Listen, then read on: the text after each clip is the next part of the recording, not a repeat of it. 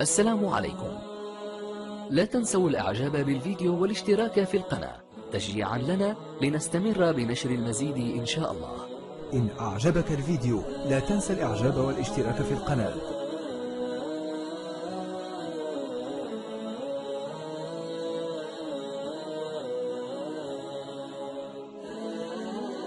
السلام عليكم. لا تنسوا الإعجاب بالفيديو والاشتراك في القناة. تشجيعا لنا لنستمر بنشر المزيد إن شاء الله.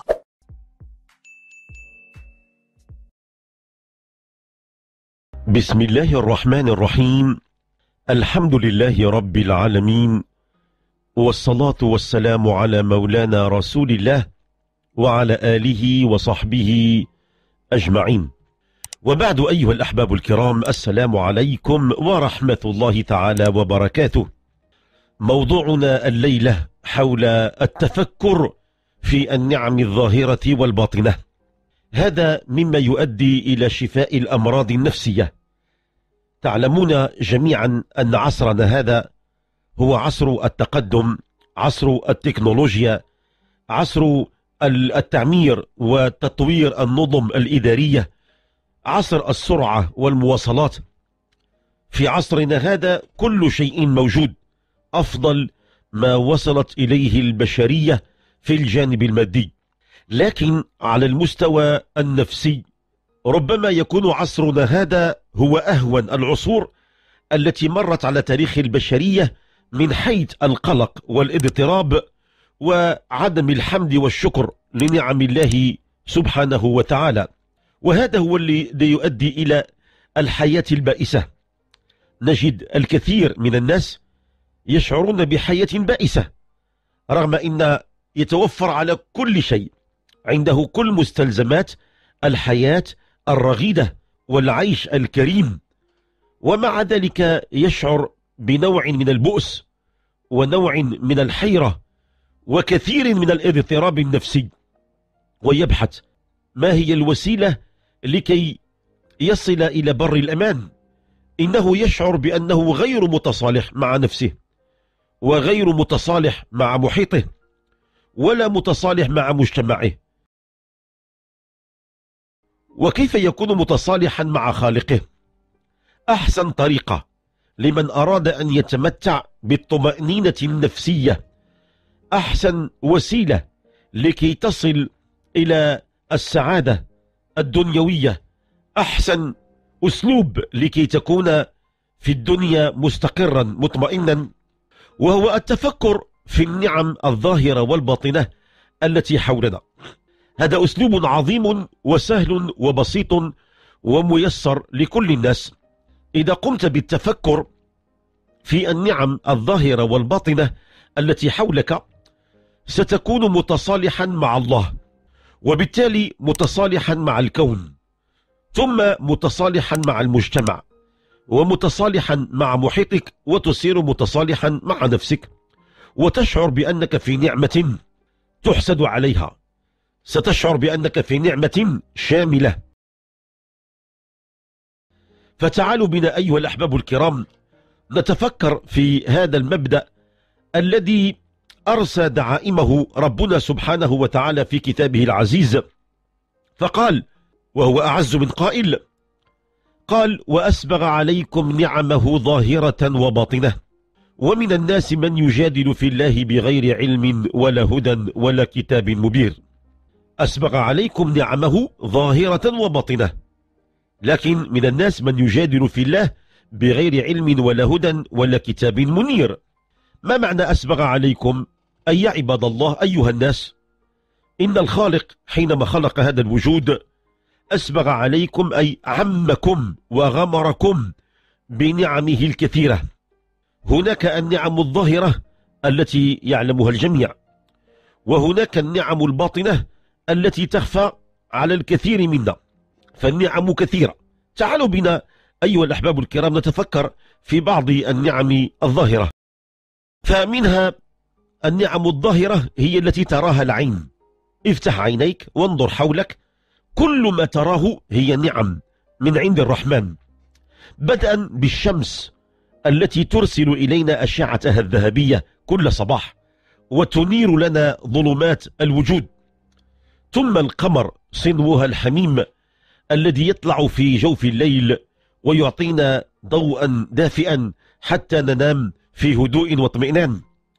ثم النجوم من حولنا وقد زينها المولى عز وجل وجعلها كأنها صورة نورانية فلكلورية في السماء. وانظروا إلى الأرض حولنا تحملنا في الهواء وهي مزينة فيها البحار وفيها الأنهار والكثير من المياه وفيها الجبال والأشجار وفيها النباتات والحيوانات وفيها المأكولات والمشروبات والمطعومات والفواكه والثمار الشتى. نعم كثيرة أنعم بها الله علينا وتفضل بها على كل الأنام لم يحرم منها أحد حتى ولو كان الإنسان غير مؤمن حتى الكفار والمشركون والملاحدة والنافرون وأصحاب النزعة اللا وكل من يواجه الله حتى بما لا يرضاه ولا يحبه ومع ذلك. الله تعالى أكرم الجميع برحمته وفضله ونعمه بهذه النعم الظاهرة. انظروا إلى نعمة الحواس الخمس. عندك السمع وعندك البصر وعندك النطق وعندك الشم وعندك اللمس. انظر لو حرمت من إحدى هذه الحواس فإنك تستطيع أن ترى بعينيك الأشخاص والأشياء والكائنات. وتستطيع بعينيك أن تميز الألوان الأخضر والأصفر والفستقي والبنفسجي إنك بالبصر تدرك ظواهر الكون والحياة. الله تعالى أنعم علينا بحاسة السمع. نسمع كل الأصوات ونميز فيما بينها. ونتوصل بذلك إلى المعلومات التي نريد. فالاستماع والسماع وسيلة للتعلم. وللترفيه أيضا لما تسمع الموسيقات والغناء العذب. وكذلك حاسة الشم تتيح لك أن تميز الروائح للمطعومات والملبوسات وفي كل شيء في الحياة. أنعم الله علينا الكثير من النعم الظاهرة ما سخرها لنا من الكائنة الحية التي نستفيد منها. انظروا إلى ربنا خلق الإبل وخلق الخيول وخلق الأبقار والأكباش والمعز والأنعام على اختلاف أشكالها كلها مسخرة للإنسان. منها ما نستفيد منه للطعام والشراب ومنهم ما نستفيد منه للركوب وللحراسة ومنهم من نتخذ وبره لباسا وسكنا أشكال وألوان. ثم إن الله تعالى استودع في هذه البحار والأنهار شتى صنوف الأسماك والكائنة الحية التي نأكلها ونتنعم بها. انظر إلى النعم الظاهرة. كثيرة كثيرة جدا نعم الأكل. ألوان المطعومات من الخضروات والفواكه والحبوب وغيرها مما تنبته الأرض. انظروا إلى أصناف المشروبات وأنواع الملبوسات والمساكن والمباني والأراضي والعقارات.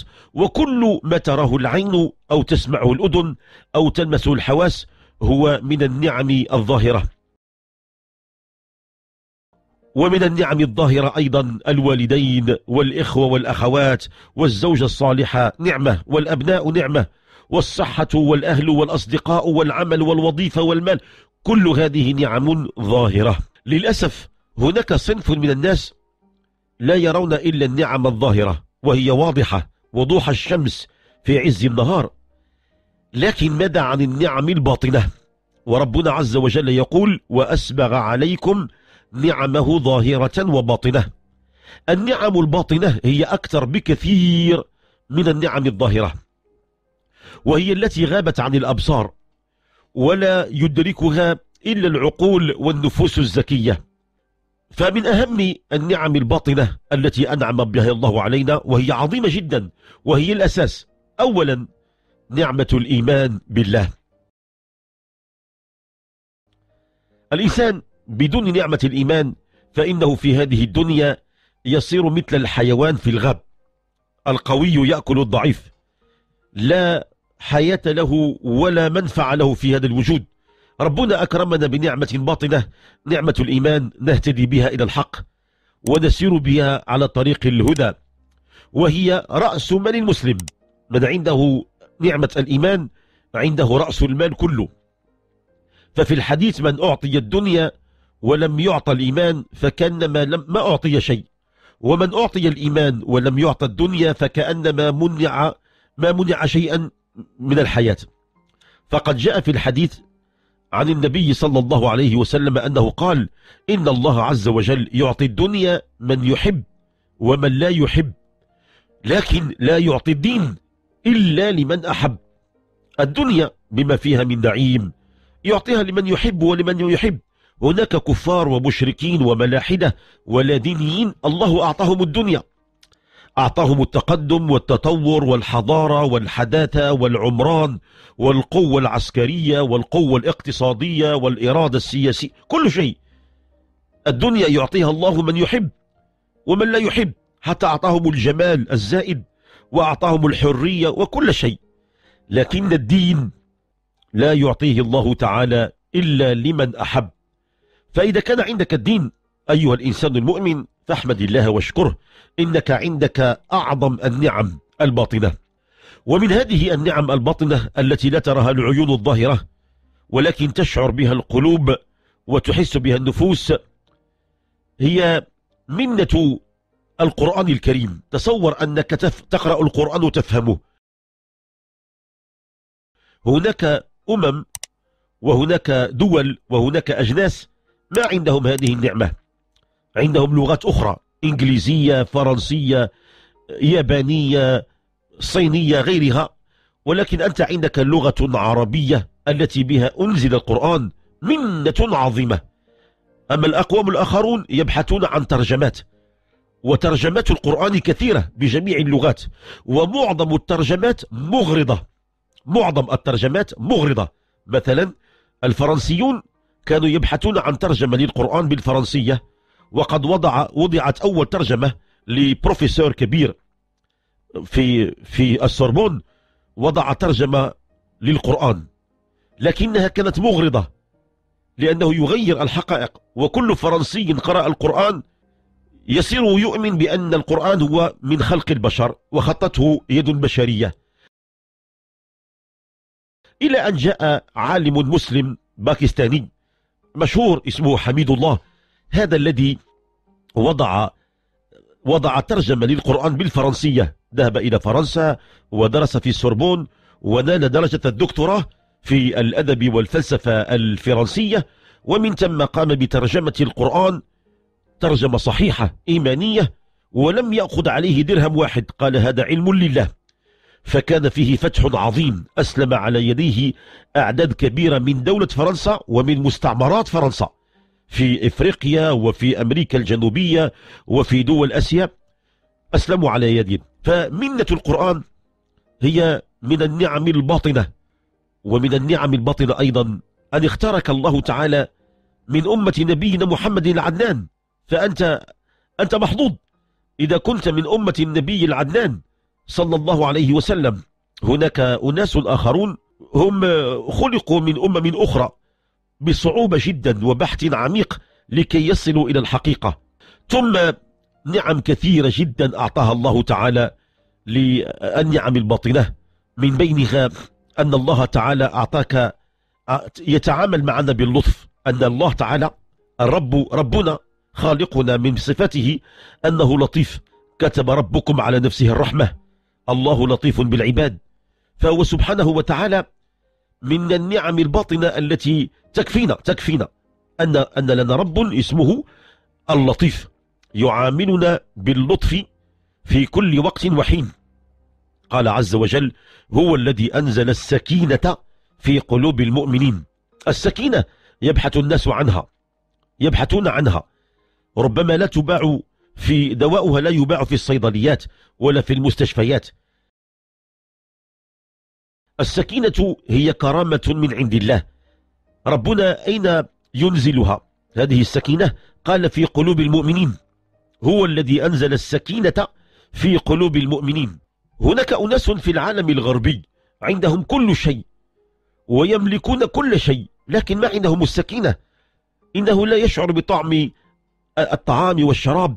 ولا بجمالية هذا البيت أو القصر الذي يمتلكه ولا حتى المرأة التي يتزوج بها أو يصادقها.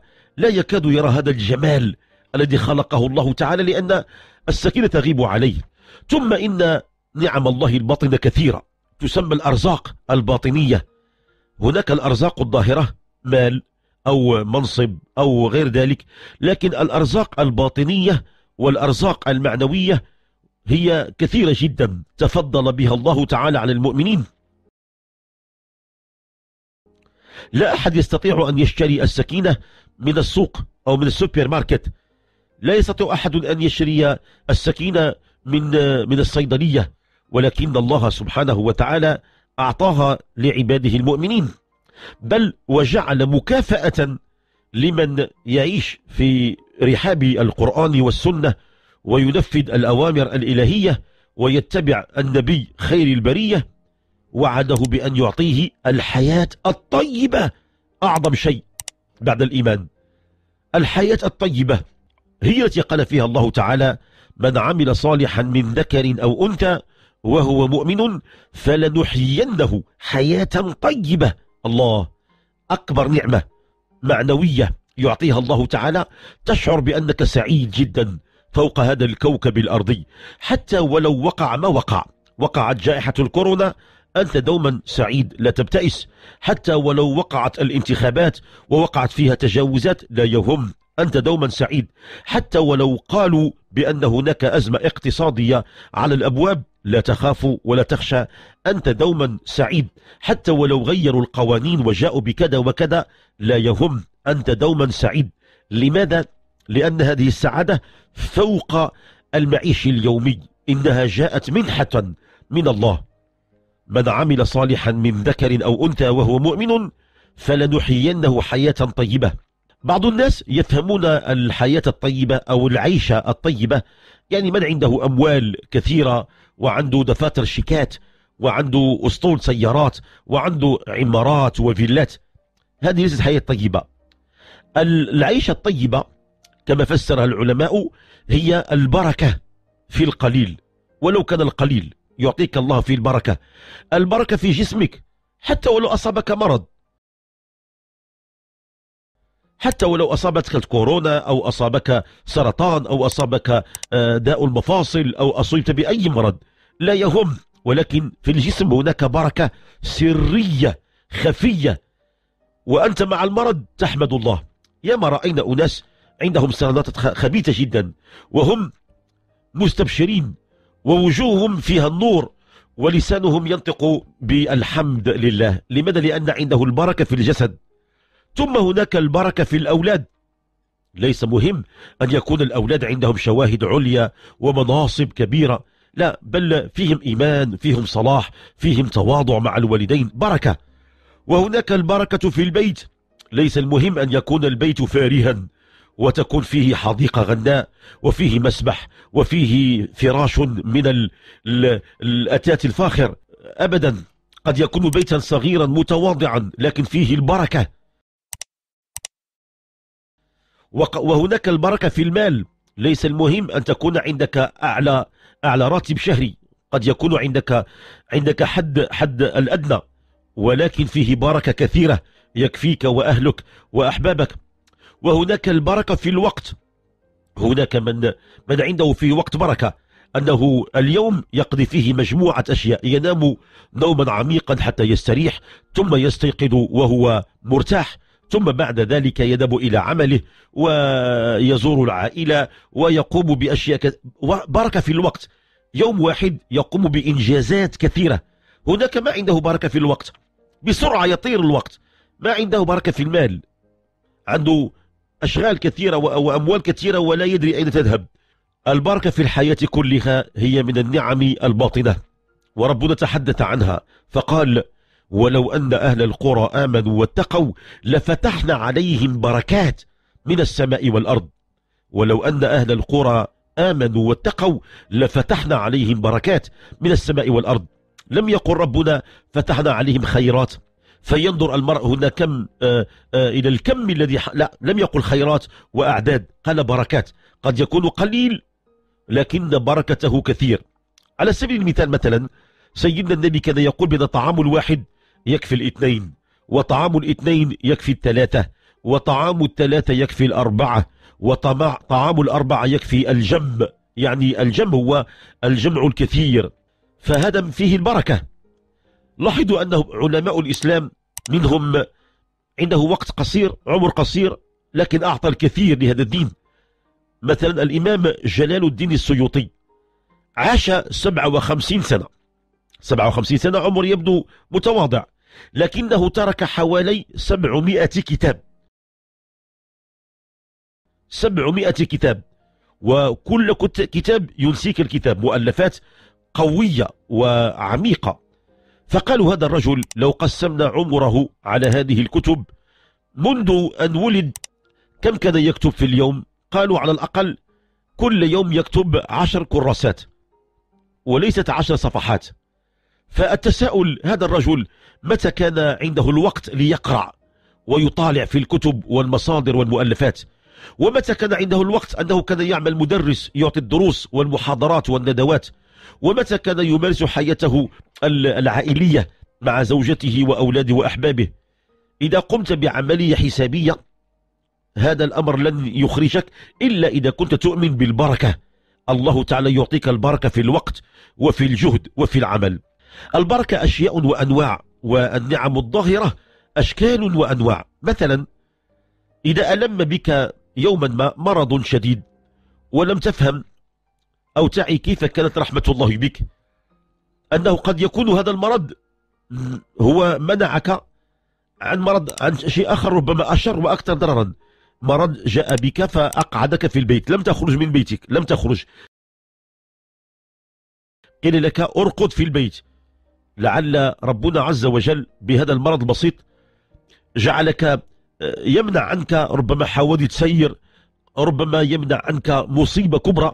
فربنا أصابك بمرض صغير لكي تقعد في البيت حتى تتوقع الوقوع في الأخطار. أو قد يصيبك مرض بسيط يجعلك تغير طريقة تفكيرك للأمور وتتحسن إلى الأحسن. كم من شخص أصيب بالكورونا في هذا الزمن فتغيرت حالته؟ سمعت الكثير منهم بأم أذني هكذا رجال ونساء قالوا بأنهم لما كانوا مرضى بالكورونا وشوفوا منها ولله الحمد لكن ماذا تغير؟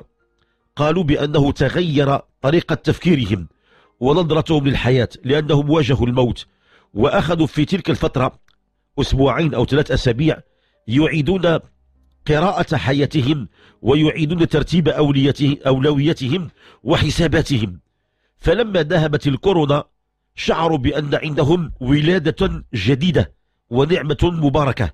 هذه تسمى النعم الباطنة وهي كثيرة جدا. فهذه النعم قد تصيب الإنسان شدائد وقد تصيبه ضراء ولكن الله تعالى مقابلها يكرمك بالأجر الكبير ويكرمك بتكفير الذنوب ومحو السيئات. هذه نعمة نعمة باطنة. فالله سبحانه وتعالى نعمه كثيرة وهو القائل وإن تعدوا نعمة الله لا تحصوها إن الله لغفور رحيم. فهذه أيها الأحباب الكرام باختصار معنى قول الله سبحانه وتعالى وأسبغ عليكم نعمه ظاهرة وباطنة.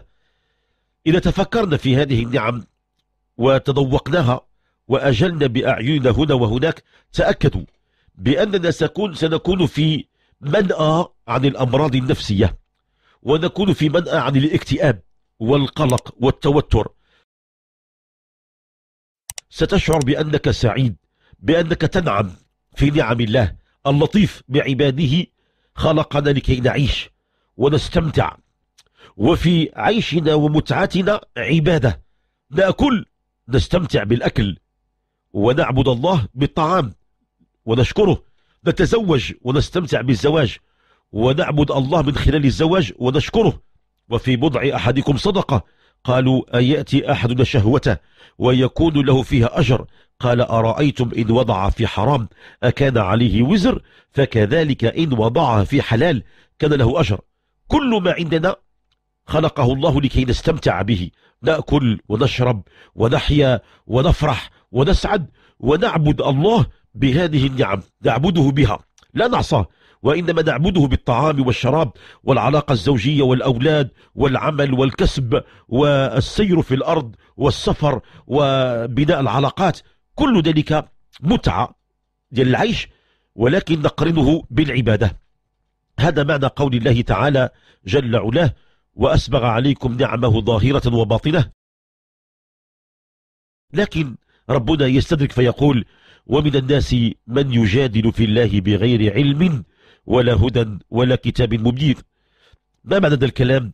أن رغم توالي هذه النعم رغم كثرتها ظاهرة وباطنة فهناك من الناس للتبعيض من للتبعيض من الناس من لا يشكرها بل لا يذكرها بل منهم من يجحد بها.